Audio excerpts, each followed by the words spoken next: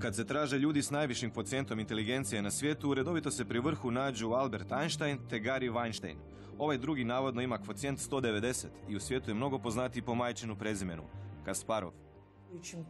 Pa- prvak u sportu, koji prema mome mišljenju ipak nije sport, to je filozofija. On je šampion filozofije, prvak u drugčijem razmišljanju drugomu mušljenju. On čitao sa Kao dijete računao je varijante istom brzinom kojim ja govorim. Kao što ja oblikujem normalne riječi tako on govori G2, E4, konj F3 na E5. Molio bi ga, Garik, uspori, daj da zapišem. Smatram da je Garik Sparov genij. No genijalni ljudi žive u drugom svijetu. Genijalnost je vrlo bliska ludilu. Zato mi se Kasparov čini genijalcem u šahu, a luđakom u politici. Za ruske vlasti Kasparov je što više toliko lud da je morao emigrirati u strahu da ne bude lišen slobode. Za hrvatske vlasti on je pak čovjek kojem valja odmah dati putovnicu. Znate za koga sam jedino od kad sam premijer intervenirao i rekao ta osoba će biti hrvatske državljane? Za Garija Kasparova. Kao što je Muhammad Ali mnogo više od boksača, tako i Kasparov nije samo jedan od najvećih šahista u povijesti. U njegovom djelovanju prelamaju se goruća pitanja epohe. Svojom domovinom naziva Rusiju, iako je rođen u Azerbajdžanu od oca židova i majke Armenke. Već deset godina ušao je u radar glasovitog Aleksandra Nikitina.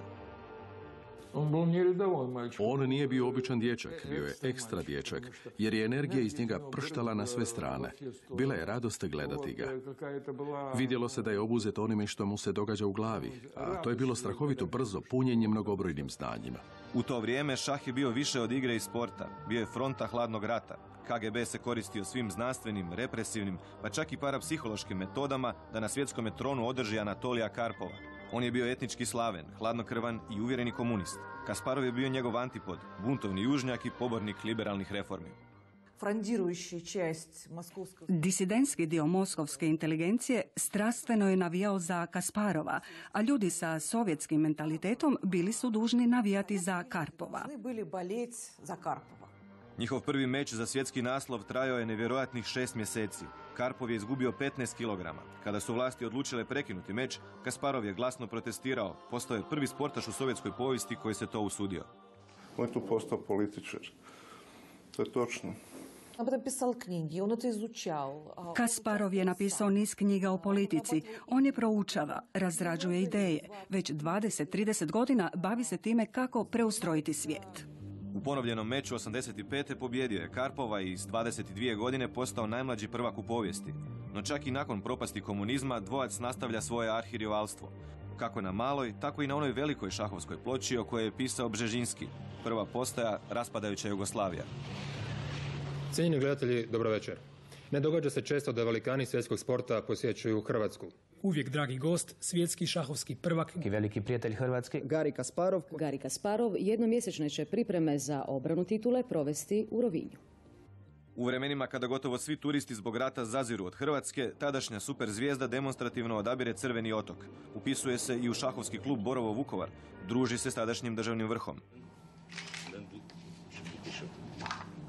Karpov odgovara igranjem simultanke u okupiranom Vukovaru i učlanjivanjem u Miloševićevu socijalističku partiju. Iako je Jugoslavija pod UN-ovim sankcijama, u Svetom Stefanu neslužbeni meč za prvaka igraju Bobby Fischer i Boris Spassky. Oni su platili, taj meč je koštao 5 milijuna dolara. Mi nismo morali platiti taj novac Kasparu, mi nismo Gariju ništa platili. On je principijalno izrađen više što ima svoje stavove. On je u principu na strani slabijih.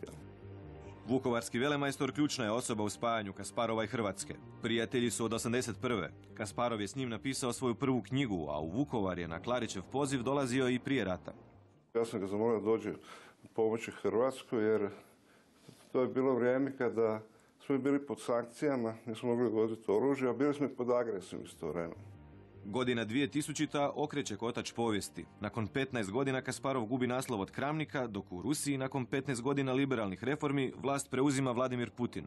Počinje burna čistka liberalne struje. Iako i dalje prvi na ljestvici, Kasparov objavljuje da se povlači iz šaha. Jasno je da će, ako se ovaj režim očuva, to biti prijetnja ruskom opstanku. Stoga je naša glavna zadaća svrgnuti taj korumpirani, kriminalni i prevarantski režim. Umjesto života na lovorikama bira policijske pendreke i suzavac kao dio uličnog pokreta protiv Putinove vlasti. On nije političar, nema nikakve šanse jer ljudi na njega gledaju kao na luđaka.